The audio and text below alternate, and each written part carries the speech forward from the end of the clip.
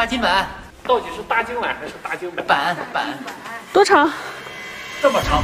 这是中国考古史上最震惊的一幕，因为管理不慎，和珅墓先后被五次盗掘。当当墓中的陪葬品呈现在专家眼前时，所有人都惊得目瞪口呆。清代包金发簪、翠手镯、玉佛头，价值连城的琥珀、宝石，犹如不要钱似的铺了一地。而这还只是最初的冰山一角。那么问题来了，和珅的陵寝当年究竟有多奢侈？他又是如何惨遭盗掘、经历重重磨难的？保持你的好奇心，接下来让我们走进中国第一贪官和珅的前世今生。一九七四年，北京郊区蓟县官庄镇的村民们正在田间热火朝天的浇地，只听“通”的一声，不远处塌出了一块黑窟窿。起初，众人也没在意，以为是水灌多了，土壤经受不住。可谁料，三个小时过去了，窟窿里的水还没灌满，这洞不对劲儿啊！不会藏着什么宝贝吧？带着好奇，几个年轻力壮的小伙子光着膀子就跳了下去。借着手电微弱的光，深一脚浅一脚的往前摸着。忽然间，一道石门出现在面前，门把手上镶着小兽模样的石雕，两旁的柱子高大威武，隐隐间能看到缝隙中传出的光亮。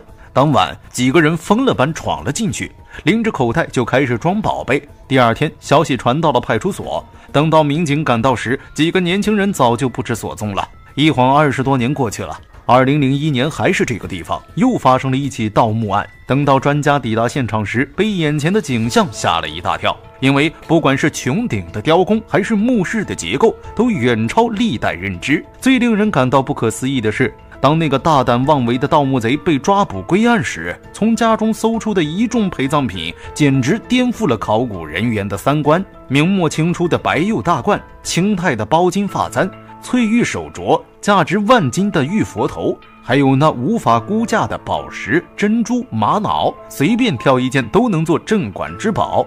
这墓主人究竟是谁？怎么会有如此大的手笔？恰在此时，一件追回的翡翠琥珀朝珠引起了考古专家的警觉。因为清代的皇帝信奉佛教，于是大臣上殿时胸前必须佩戴此物。从朝珠的规格和质地推断，墓主人最起码是在京的二品大员。只可惜墓中大多数建筑早已焚毁，一时间调查陷入了僵局。正当专家们打算撤时，村里的老人提供了一条线索：原来此地名为何家村，一直以来都流传着一首民谣：“老和珅万民恨，想篡位修大坟，遭万金亲李敏，杀和珅杀和珅。”顺着民谣所指的方向，考古队果然发现了一个惊天秘密。厉害厉害，这个东西确实美得很。哎呀，number one！哎呀呀呀呀呀！棒棒棒棒棒！哎呀呀呀呀呀！棒棒棒棒棒！这是中国考古史上最震惊的一幕，因为管理不慎，和珅墓先后五次被盗掘。但当墓中的陪葬品呈现在专家眼前时，所有人都惊得目瞪口呆。清代包金发簪、翠手镯、玉佛头，价值连城的琥珀宝石，犹如不要钱似的铺了一地。而这还只是最初的冰山一角。通过对墓葬周围地毯式的勘探，研究人员发现，这片墓的选址堪称是胆大包天。北面有群山围障，南面有玉溪流淌，符合《周易》关于风水宝地的说法。最令人瞠目的是，十里之外就是清东陵，也就是乾隆的长眠之地。敢在天子眼皮子底下这么高调，和珅绝对是古往今来第一人。为了重现此地的景象，专家采用了电脑模拟技术。通过痕迹修复，享殿、宫门、宝顶、山门依次呈现了出来。他们全都依山而建，富贵逼人。最夸张的是，门前残留的石翁钟，其高度甚至大过了乾隆陵寝的陪葬规格。据说和珅为了掩盖这一点，偷偷命令工匠用沙子把翁钟的脚盖住。而这还不是最劳民伤财的，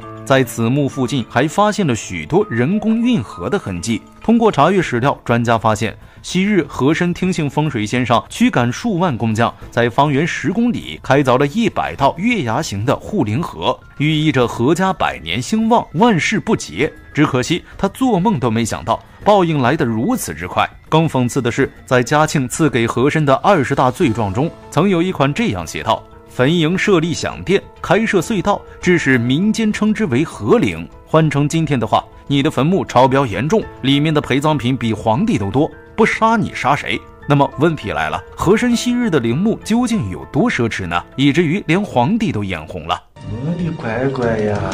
他这个头大，像像厉害厉害，这个东西确实以前没见过。哎，美得很。哎呀，number one，这就东西真的漂亮。哎呀，完美！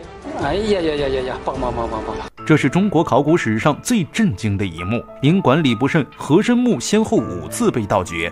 当墓中的陪葬品呈现在专家眼前时，所有人都惊得目瞪口呆。清代包金发簪、翠手镯、玉佛头，价值连城的琥珀、宝石，犹如不要钱似的铺了一地。而这还只是最初的冰山一角。镜头中这两头石狮子，原本是和珅陵寝前的摆设，今天盛放于天津蓟县独乐寺。其雕工之精美，造型之别致，即使放眼整个清史，都是独一份的。最令人瞩目的是，狮子的眼睛极其特别，冷峻中透露着凶相，令人不寒而栗。据说这是当年和珅钦定的。彼时的他手握财政大权，官拜军机处大臣、内阁首席大学士，可谓是一人之下，万万人之上，心里的野心早就昭然若揭了。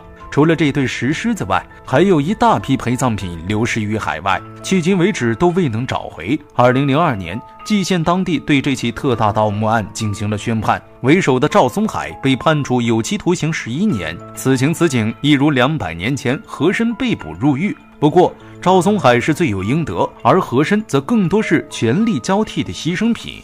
直到今天，北京城内还流传着一段有趣的故事。昔日嘉庆宣读完和珅的罪状后，这位两朝元老吓得面如死灰，瘫坐在地。没成想，新皇帝说乾隆留有遗诏，交代处置和珅务必打开。和珅听闻，犹如绝处逢生，颤颤巍巍地打开了遗诏。只见“留全尸”三个大字赫然写于其上。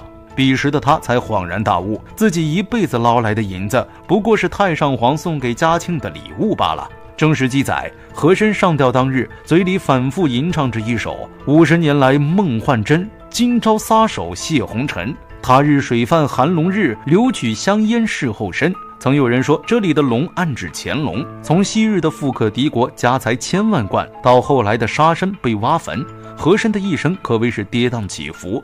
正如老话所言：“不是不报，时候未到。”对此，你有什么看法？欢迎在评论区留言讨论。我们下期不见不散。